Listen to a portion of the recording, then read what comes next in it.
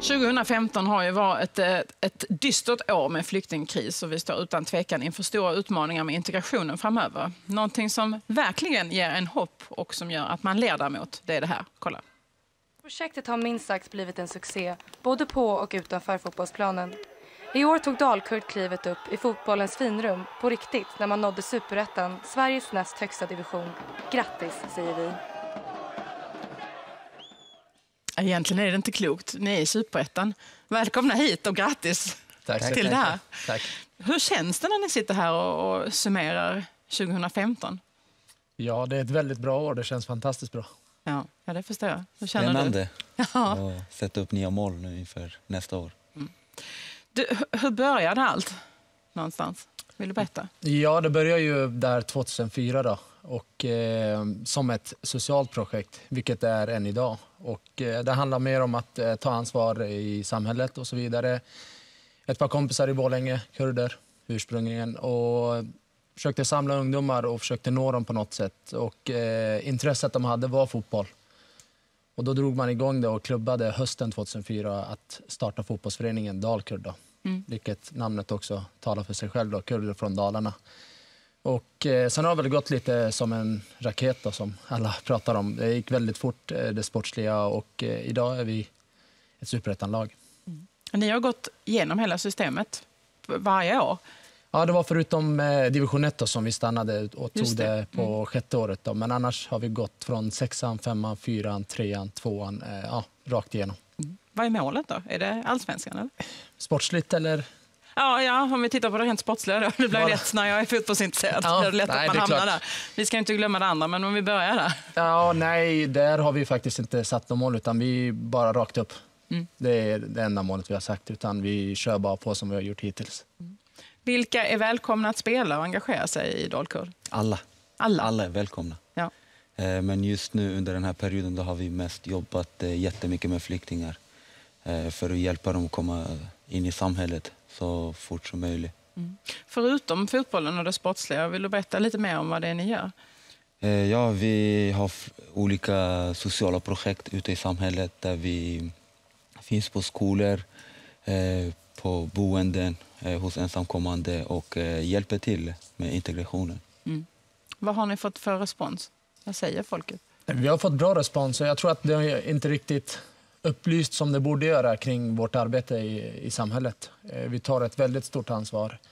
Eh, Som eh, Pasha berättade här i skolor och så vidare. Vi nattvandrar med våra A-lagsspelare ett par gånger varje år och vi har fått riktigt bra respons där just när vi är ute och nattvandrar och träffar de här unga killarna.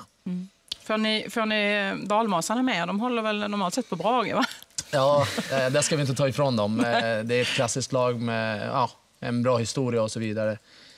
Men eh, det är klart att det har satt sig i, i väggar och överallt att eh, ja, det är Brage som är, har varit Borlänge. Eh, Vi har gått om dem sportsligt och förhoppningsvis så vinner vi deras hjärtan till våra matcher också snart. Mm. Det finns det, ser du någon risk i att det blir väldigt stora sportsliga framgångar med att det sociala på något sätt eh, blir lidande? Eller kommer ni fortsätta med, eh, som det är tänkt med de sociala projekten, även om ni nu är i Superettan? Jag tror att den dagen de sociala bitarna försvinner från Dalkurd så kommer inte Dalkurd finnas. Eh, än idag så är vår största arbetsgrupp den sociala eh, biten då, där vi är cirka tio stycken som jobbar enbart med sociala frågor och eh, vilka projekt vi kan starta och jobba med. Så att eh, prio ett är den sociala biten, inte det sportsliga. Och det är från dag ett och än idag är det likadant. Hur skulle du beskriva stämningen och, och hur det är att, att, att vara kring och i laget och i klubben, föreningen? Den är fantastiskt bra. Eh, resultaten har gått bra och då höjs stämningen. Och sen att när vi är ute i samhället och hjälper till då höjs vi som människor och som lag. Så den är alltid på topp, skulle jag säga. Du, det har ju varit eh, väldigt skakigt får man väl säga, i vår omvärld med den största flyktingkrisen sedan andra världskriget. Och där väldigt blodiga strider i, i eh, Syrien och Irak framförallt, där, där eh, kurdiska befolkningen drabbas väldigt hårt. Vad tänker ni kring det som pågår just nu? Ja, det är väldigt hemskt. Alltså just 2015 och 2014 har väl varit eh, extremt dåliga. Och, eh, eh, det känns som att eh, ibland som kurderna står där helt själva och eh, känns lite maktlösa och så vidare. Men eh, just ur vårt perspektiv så drabbas vi självklart. Eh, vi har ett ursprung som är just från de här trakterna.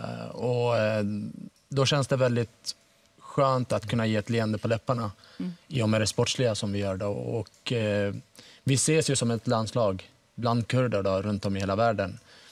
Men vi är en svensk förening där alla är välkomna. Men det känns väldigt bra att kunna ge någonting till dem här, under de här mörka tiderna. Mm. Vad känner du kring och, allt som är? Eh, alltså, det jag känner är att eh, vi som kurder måste ta vårt ansvar, vi som kan. Och just därför gör vi det också. Tar vårt ansvar, hjälper till med olika insamlingar, eh, åker ner och hjälper till där på plats. Så vi, tar, vi måste ta vårt ansvar. Lyssnar politikerna på er? Jag hoppas att de ser vad vi gör i alla fall när det kommer till integration och eh, vilket ansvar vi tar i samhället. Där tror jag att vi är ett bra exempel eh, till alla runt om i Sverige. Mm. Har du fått någon respons från andra klubbar i landet som, som ser vad ni gör och på något sätt vill hjälpa till och, och göra mer i sina föreningar? Ja, en del klubbar har hört av sig och eh, frågat lite hur vi jobbar kring de här frågorna. Sen har vi väl inlett eh, precis nu ett samarbete med Skellefteå eh, fotboll och Skellefteå kommun då, där vi kommer börja starta ett projekt eh, och jobba just mot de här frågorna med flyktingar och eh, integration. Inte bara utlandsfödda utan vi pratar om utanförskap i Sverige. Inte just utlandsfödda som är som flyktingar utan det finns ett utanförskap i Sverige som är svenskfödda också som man kan nå ut till och få in dem i föreningsliv och jobba med olika projekt. Mm. Du såg den här filmen Trevligt folk, gjorde ju supersuccé eh, förra året och eh, i det fallet så visade man ju på hur man kunde interagera genom sport och då var det bandin mm. Eh, som, som var fallet. Nu visar ni på att det är genom fotbollen. Är, det, mm. är det rätt väg att gå? Är det idrotten som, som förenar? Ja, det är det. Vi brukar säga att fotbollen har inget språk. där kan, alla kan vara med. Fotbollen har sin egna språk. Eh, så det spelar ingen roll vart man kommer ifrån, vilket språk man talar, vad man har för nationaliteter. Alla kan trivas på en fotbollsplan och i en förening. Mm. Varför tror ni att det är så med idrotten? Jag tror att vi underskattar lite vad idrottens kraft, alltså vad den kan göra och så vidare. Eh, just idrotten sammankopplar oss överallt, eh, över hela världen. Den finns överallt. Vi kan ha olika traditioner i Sverige eller i ett annat land. Men idrotten spelas exakt på, eller utförs på exakt samma sätt överallt och då är det lätt att komma tillsammans då och göra någonting bra. Utan det är någonting som de är vana med och som vi är vana med här också. Mm. Och när, för mig tycker jag att vi borde lägga mycket större kraft på just föreningsliv i alla möjliga idrotter och försöka få in folk i det. Mm. Det intressant för båda projekten är att de båda två kommer från Dalarna. Både Trevligt, trevligt folk och, och ni också. Varför ja. är det så? Ja, vi är trevligt Har ni något svar på det? det, Nej, det, är, det är unikt faktiskt. Eh, ingen aning varför det har just blivit så, men jag tror att vi har triggat varandra. Dalkurd startades 2004 och sen har väl eh, det tryggats upp lite och eh, jag tycker det var fantastiskt roligt med bandy. Mm. Eh, just, just att det blir bandy, där, just det vi talade om innan, att bandyn finns inte i Somalia. Så att, Eh, grymt bra arbetat. Mm. Hade ni någon kontakt med varandra? Eller det här vi känner till varandra. Ja. Eh, och sen har vi varit på föreläsningar tillsammans också där vi pratat om just de här frågorna och de här bitarna. Mm. Ska vi avsluta med det sportsliga då? Vad ser ni fram emot kommande säsong? Det är inte så lång tid kvar nu. Nej, vi ser, nej det, försäsongen drar igång nu i, om nästa vecka och sen är det väl matcherna i april. Så vi hoppas på några nya höjder i år. Mm. Det är många som kommer att följa. Ja, det ska bli jätteroligt att göra i Superettan. Mm. Tack så hemskt mycket för att ni kom hit och god fortsättning på er. Tack för att ni kom. Nu ska